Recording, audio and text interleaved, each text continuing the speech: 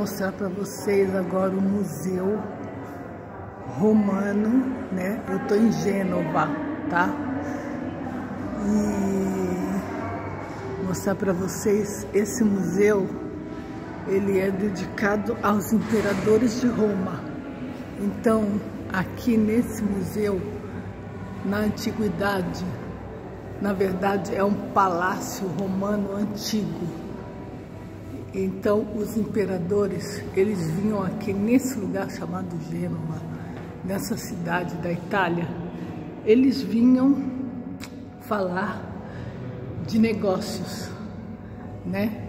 Então, assim, mas não era um negócio qualquer, era toda a trajetória econômica, todo o comércio do Império Romano e Europeu.